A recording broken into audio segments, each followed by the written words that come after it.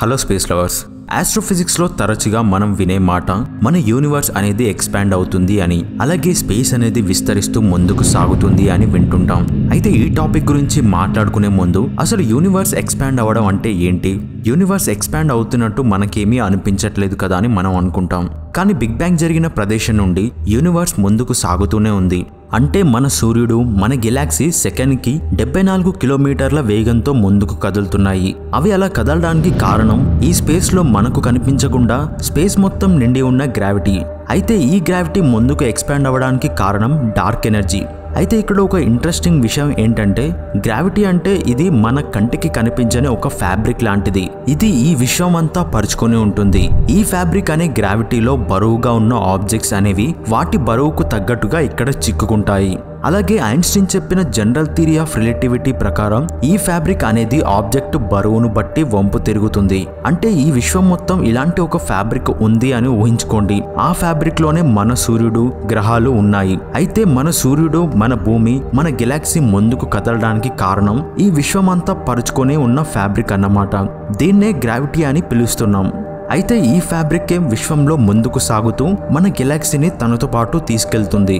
అయితే ఈ ఫ్యాబ్రిక్ అనేది వంపు తిరుగుతుంది అని మాట్లాడుకున్నాం. కాబట్టి ఈ విశ్వం అనేది అనంతమైనదా? లేక ఈ విశ్వానికి అంతం ఉందా? అనే ప్రశ్నకు ఒక సమాధానాన్ని ఐన్స్టీన్ ఇచ్చాడు. అదే ఈ యూనివర్స్కి ఒక షేప్ ఉంది అని అది కర్వ్డ్ షేప్లో అయినా ఉండొచ్చు అని. అంటే ఈ యూనివర్స్ అనేది మన భూమిలాగా గుండ్రంగా ఉండొచ్చు అని Einstein general theory of relativity ఆధారంగా చెప్పిన విషయం. ఉదాహరణకి ఒక బెలూన్ గాలితో నిండి ఇంకా పెరుగుతూ ఉంటుంది. ఆ బెలూన్ పై ఒక చీమను పెడితే ఆ చీమ ఆ బెలూన్ పై ఎంత దూరం ప్రయాణించినా సరే ఆ బెలూన్ యొక్క మధ్య భాగాన్ని కానీ అంచును కానీ చేరుకోలేదు. ఎందుకంటే ఆ బెలూన్కి అంతం లేదు. అలాగే ఈ యూనివర్స్ అనేది ఒక గుండ్రని విశ్వం అయితే అందులో ఒక గెలాక్సీలో ఉన్న మనం ఎంత దూరం ప్రయాణించినా సరే ఈ విశ్వం యొక్క అంచును గాని విశ్వం పుట్టుక దగ్గరికి గాని చేరుకోలేము. ఒకవేళ ఈ విశ్వం అనేది గుండ్రంగా కాకుండా ఫ్లాట్గా అంటే బల్లపరుపుగా ఉంటే మాత్రం ఈ విశ్వానికి అంచును మనం కనుక్కోవచ్చా లేదా అనేది ఇంకా మిస్టరీనే అయితే మనం ఇంకా మనం విశ్వం యొక్క ఆకృతిని కనుక్కునే పనిలోనే ఉన్నాం.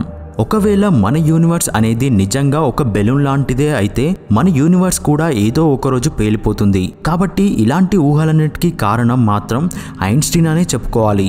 వంద సంవత్సరాల క్రితం మన గెలాక్సీ మాత్రమే ఈ విశ్వం అని అనుకునే వాళ్ళం. కానీ ఆ తర్వాత మన గెలాక్సీ లాంటివి అనంతం ఉన్నాయని కనుక్కున్నాం. ఇప్పుడు ఈ అనంతమైన గెలాక్సీలు ఒక గుండ్రని విశ్వం అని మనకున్న ఆలోచన శక్తితో ఊహించగలిగాం. అలాగే ఈ అనంతమైన గుండ్రని విశ్వం తర్వాత ఏం ఉన్నాయో ఖగోళ శాస్త్రంలో ఉన్న సిద్ధాంతాలు ఏం చెప్తున్నాయో నా నెక్స్ట్ వీడియోలో తెలుసుకుందాం.